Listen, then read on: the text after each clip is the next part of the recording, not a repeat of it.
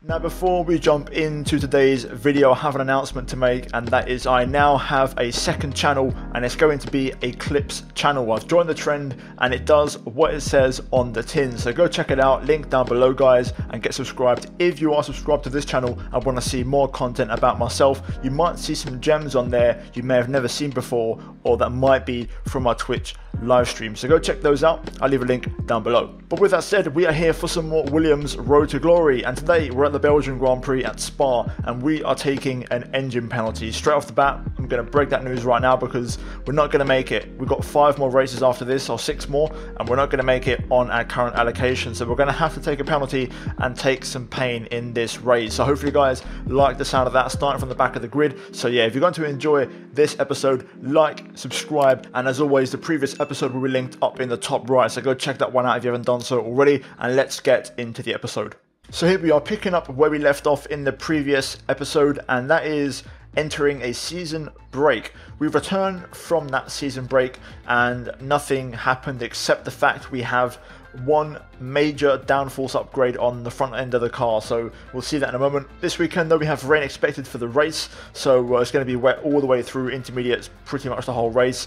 In terms of the upgrade it was a major one on the aerodynamics for the front end of the car but it hasn't really changed much in terms of you know where we are relative to Red Bull and Mercedes. We also have two more on the way so a rear downforce major upgrade and a minor one on the chassis for the brakes. Hopefully they both arrive by the end of this episode and along with that we're going to hopefully add another upgrade at the end of this video. So stay tuned for that. I'm hoping for it to be an ultimate one but we'll see what happens. It depends how many R&D points we pick up in this episode. We jump into practice, and I did this practice session with the old power unit, the one that's uh, going to get replaced, and it was a pretty decent session. We scored a decent amount of R&D points, and the car was working well. I love Spa; it's a great circuit. It's probably my joint favourite along with Japan, and things were looking pretty positive after practice. But now, before qualifying, we are going to go ahead and change the components. Now you can see on the ICE, the internal combustion engine, the turbocharger, and especially the control electronics, those three components are pretty worn. And even the ones right now that are green by color, they're kind of in that 45 to 50ish percent range. So they're not exactly fresh. Don't go by the color. So I am going to go ahead and put on the third and final component for the ICE, the MGUK, the MGUH, and also the turbocharger but we have to take an engine penalty for an extra energy store and an extra control electronics. So yeah, it is where it is. Hopefully now we should be able to get to the end of the season with no more penalties and we'll use some older engines for practice and stuff to keep the mileage down. But pretty much with that said, after practice we move to qualifying just to pretty much confirm those penalties to make sure they register and I'm not going to make the same mistake as in the past and change components again. So we're going to run the race with this engine. So we leave the pits, we get confirmation of the grid penalty, and yeah, pretty much we're just going to go full send in the race in the rain and see what happens. So there you go, there's a lot of practice and qualifying. We're now going to move into the race here for the Belgian Grand Prix, and we're going to see if we can try and fight back through the field.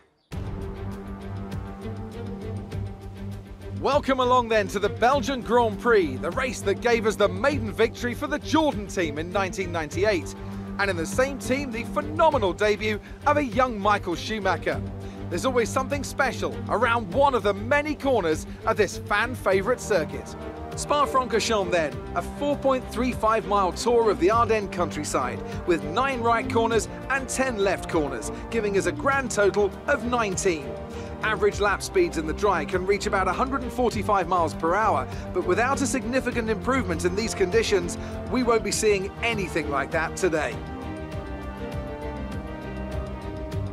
Anthony Davidson joins me again for the race today. Let's talk about Martinez. As ever, the threat of unreliability is never far away, and indeed they'll be starting out of position today due to a power unit component change.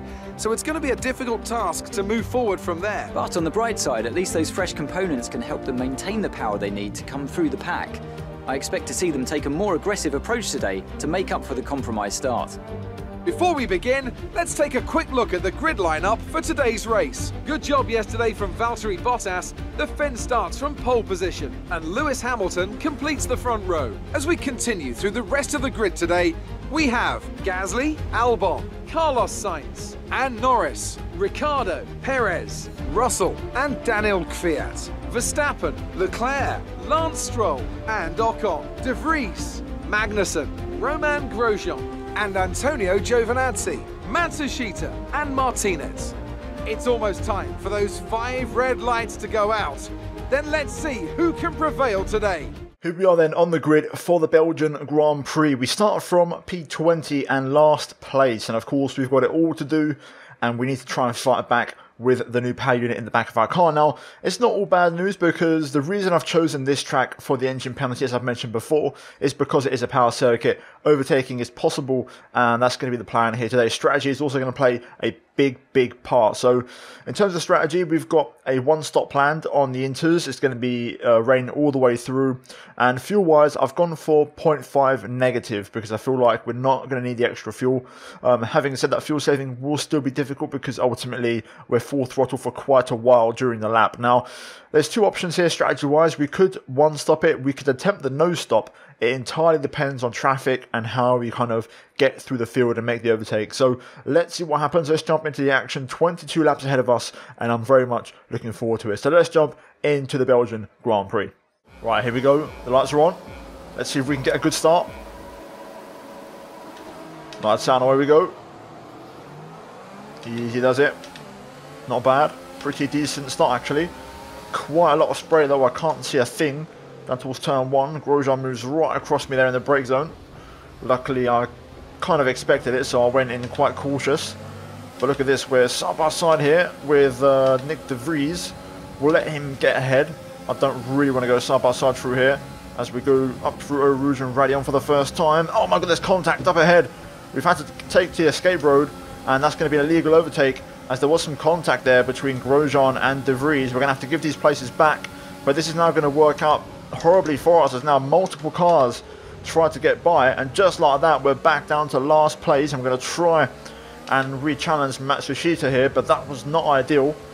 That could have been a massive collision at high speed there over the top of Raidillon luckily we managed to avoid it. We're going to try and go around the outside of uh, Giovinazzi here just kind of putting the throttle on slowly. De Vries in front so I can't really commit to this overtake fully but we managed to get ahead and make our way up to P18 so We've gained a couple of places anyways. Let's see if we can make up a few more.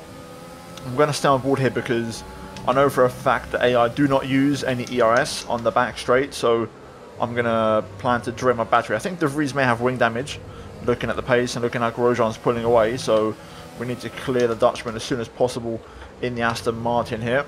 If I can just get the exit and the run through here, that would be perfect. There we go. Lovely stuff. Now we're just going to hit the ERS and look at the speed difference.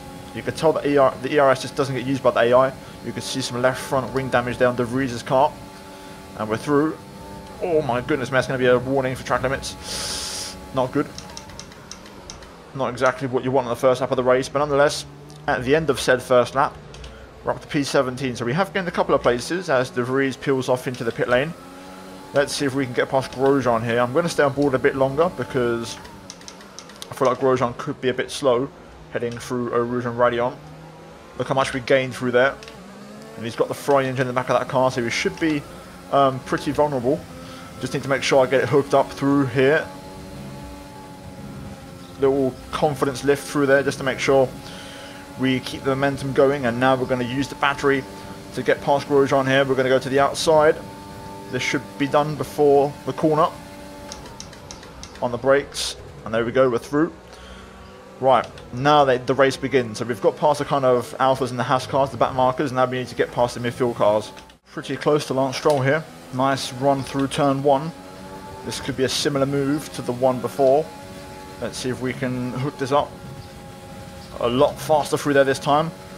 Much less of a lift. Are we close enough though to get Stroll? I think we are. We're just starting to reel him in on the brakes here up the inside. Got to leave some room. But we go on the outside of the left-hander and make that move stick. So we're now P15. We've got Verstappen up ahead, having a pretty poor race. Magnussen running P13 for Haas. What a great race for him so far. Verstappen, Magnussen battling here.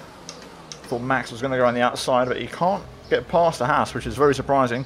We've got a massive train of cars ahead, by the way. I'm not sure how this is going to work out. It's going to be interesting as we set another personal best. We've got a five car breakaway looking at the minimap. So we've got two Mercedes and two Red Bulls breaking away. and a McLaren. And then there's a battle for the front of the midfield. You can see on the minimap they're heading up to Eau Rouge. There's just a massive train of cars. So um, very much, even though there's no DRS, it's kind of like a DRS train basically. Everyone's just getting a slipstream off everyone. So there's going to be very little slipstream effect. So um, we may have to consider options here in terms of strategy. Let's see what happens though. Verstappen again looking for the move on Magnussen. They're going to go side by side into late. So we're going to wait and see what happens here. I might be able to get a, a position or two for free here. Looks like Max though has got that one done quite convincingly. We're going to keep the pressure on though. See if I can get past Magnussen. Down towards Rivage. I thought about it up the inside there. Didn't quite work though. I feel like I want to get Magnussen here, so we're going to turn the engine up and try and close the gap. We're going to see if we can lunge him into the bus stop chicane, and that would give us P14. Slight confidence lift in traffic there, but there we go. We've got the run. Up the inside we go. Magnussen trying to fire back on the inside, but we're going to get the better line. And there we go, P14. Now, this is going to get interesting. We've arrived at the back of the train, and there's a lot of cars in it. So, I'm not really sure what to do with this. Already, I'm thinking undercut. It could be a good option. We could potentially undercut almost all of these cars. Like I see one of the Alpha AlphaTauris is pulled away out front. So that tells me maybe someone in this train is struggling with damage and is holding everyone up, but no one can quite make the move. So I'm going to consider options here, but we may have to go for an early stop, for an undercut to try and get past all this traffic. Whoa, that was a bit too close for comfort there. Let's not do that. That's going to overheat my tyres like crazy. The AI are really slow in these slow speed corners. Like extra slow. I'm tempted to have a little dive, but I am thinking pit stop. I think maybe next lap in fairness. I'll check my tyre wear now. 18% on the rears. I mean, we could go to the end as well. That's another option. But I feel like we need clean air for that to happen so that I can push. And I'm not really getting that right now. So I am thinking an early stop. I might pit this lap to be fair. A new strategy is available on the MFD. What's this then? Lap 13. Hmm. So the game already wants me to go longer. But I'm thinking this lap to be honest. I think I'm going to just call it now and go for it. I think we can undercut all of these cars. I think I've got more pace than this. I reckon there's at least another second pace wise, maybe more that I can find. And I'm estimating the AI to pit around lap 11 or so. I don't know. Um, do I pit this lap? That's the real question here. I think I am. I'm gonna I'm, I'm gonna send it and pit this lap. Why not? We may as well go for it. I can't see myself overtaking these guys, unfortunately. They're really slow here, though. These slow speed corners, you can see how early they break. I have to be very careful to not run to the back of. We're going to send it into the pit lane and go for this undercut. Crucial phase of the race, but this is for the championship. We need to keep our hopes alive and, you know, keep some points in our championship lead because right now we're not in the points. So this is going to be a gamble. We should be able to make it to the end. The question is, will we have, you know, tyres that are competitive enough at the end of the race? I'm hoping to catch the AlphaTauri that's in the Kemmel straight right now. That's what I'm aiming for with this undercut. So let's see if I'm being a bit too ambitious or whether that's realistic. We're about to find out. So fresh inters, we're not pitting anymore. We'll be struggling for Tara at the end a little bit. We've got the gap ahead to uh, Matsushita as reference.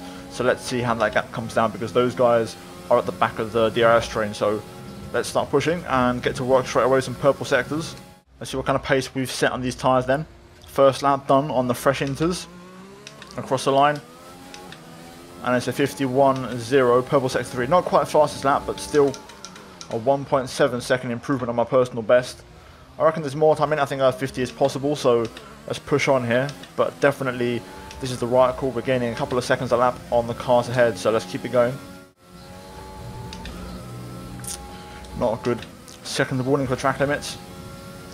Not ideal. Hopefully we won't get any more. Otherwise that 3 second penalty could be damaged towards us, it could hurt us quite badly depending on where we are at the end of the race.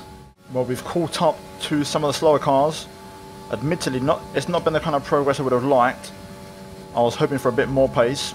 Got a few cars in the pit lane though, so let's see what happens here.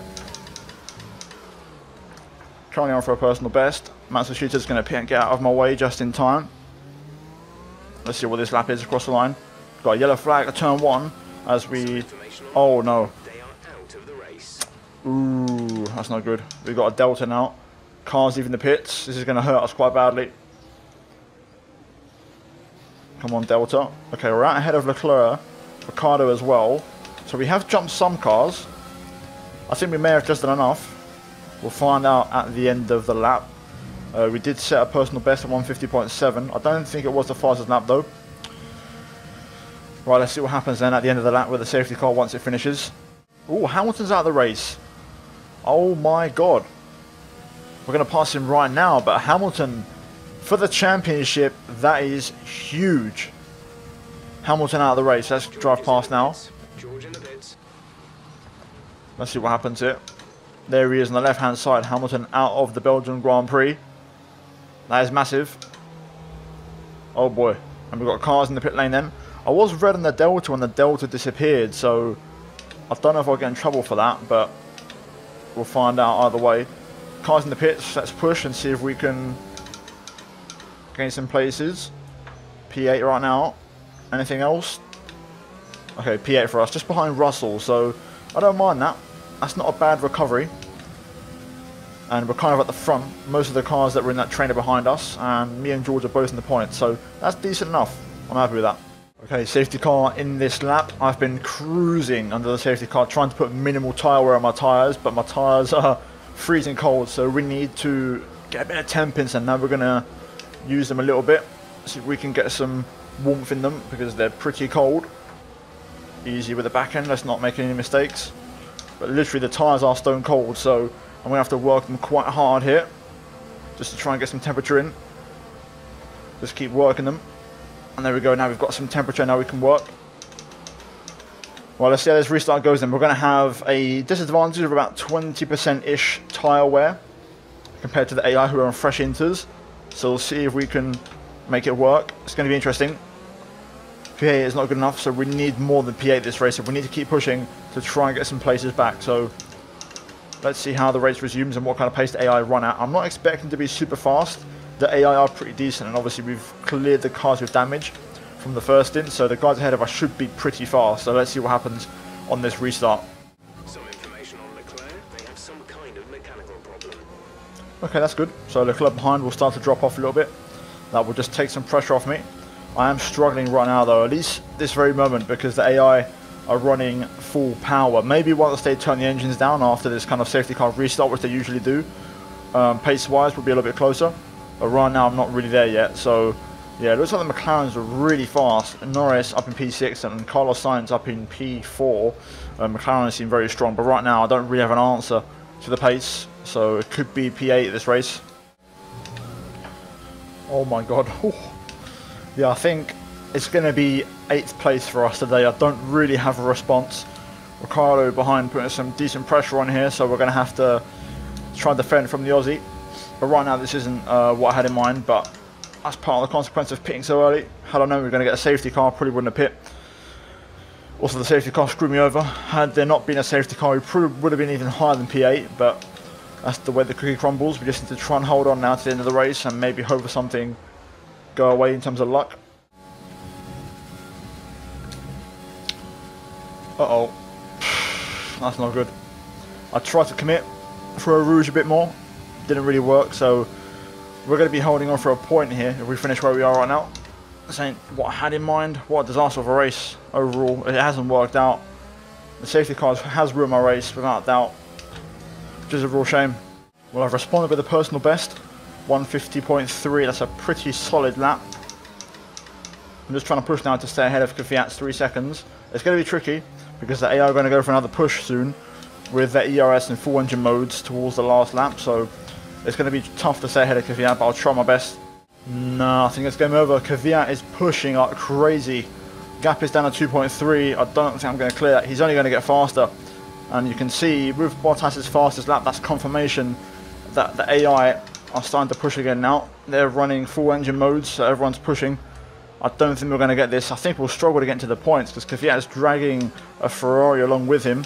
So it may not even be points today. We're about to find out where we're going to finish. I'm trying to push. Personal best sector 2. We've managed to get fuel on target as well. Now we're just going to drain the battery, but I think it's too late. I think it's going to be P11 for us unless the AI massively drop off in this final sector by some sort of a miracle. We're out of ERS already. Full commitment into the bus stop. Chicane to give it everything. But the tyres are going. The rears have had enough. Yeah, it's game over. I think it's not even going to be points today.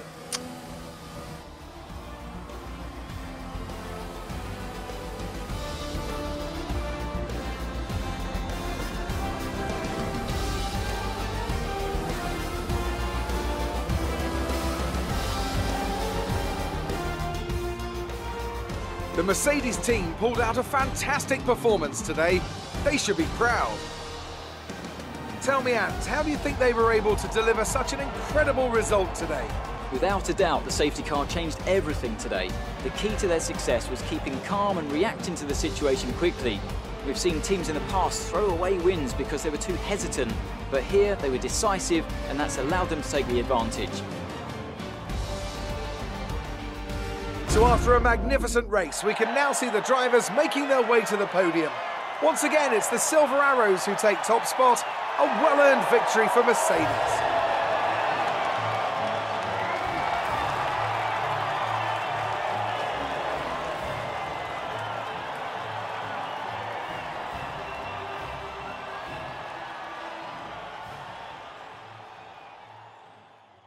Well, the results are in, guys. We managed to secure a point and keep Verstappen at bay. So, a small consolation, a small positive, but still, in the grand scheme of things, not a great race here today as Bottas picks up 25 points. Gasly picks up 19 due to a fastest lap, and Albon P3. So uh, Red Bull Mercedes having a great day at the office here today. Um, elsewhere, George Russell P7, good race from him, good points, good finish. And then, of course, further down towards the bottom, the big news Lewis Hamilton DNFing from the race along with Esteban Ocon. So we look at the standings, and after the season break, we return to Spa. We still lead the championship, but we are equal on points with Valtteri Bottas. Obviously, that goes back on count back to the fact I have more race wins than Valtteri this year. But we are dead even heading into the final, I believe, five races of the season. Um, Gasly P3 for Red Bull, oh, sorry, P4 for Red Bull, behind Hamilton is P3. So Hamilton hasn't lost too much today because only scored one point. He's still an outsider, uh, but Gasly getting himself back in the mix a little bit. And then there's quite a bit of a gap to Albon and Co. So I think they're a bit too far back.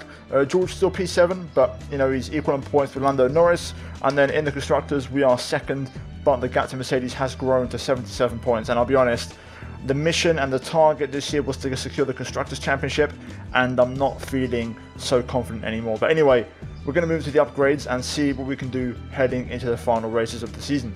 Well, after that race, Bottas takes a massive step towards winning the rivalry, and to be fair, I think it's impossible mathematically now. So, fair play to Valtteri. He's done a good job. He's really turned it around in the championship, and also you know, in the driver rivalry, he's been pretty dominant.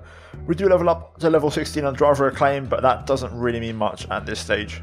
Well, it's a short turnaround until the next race in Monza, and I can confirm all of the upgrades have arrived onto the car. So, as you can see in the progress tab, we've got nothing in the works. Seems like Red Bull have brought some upgrades of their own.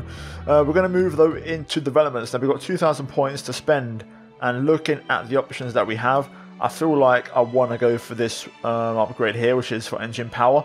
We can just afford it, literally only just. It's outright engine power. We have slipped away a little bit in terms of the performance ranks on that side, so we're going to go ahead, get that on the car, and fingers crossed it will arrive. It should do after the Italian Grand Prix, so we'll have it on the car for Japan, and that will give us a big step in the right direction. So, yeah, that's going to be it for us here today, guys. In this episode, we're going to skip ahead to the next race in Monza, and yeah, pretty much our mid-season struggles continue. Hopefully, we can turn it around, guys, in the next race weekend because we need some points. So we'll see what happens. Either way, if you enjoyed today's episode, leave a like, subscribe for more content like this on my channel. As always, a big shout out to the members of the channel for supporting the content. And finally, if you haven't done so already, guys, check out the two videos on screen if you have missed them. But that is it from me here today, and I'll see you guys next time.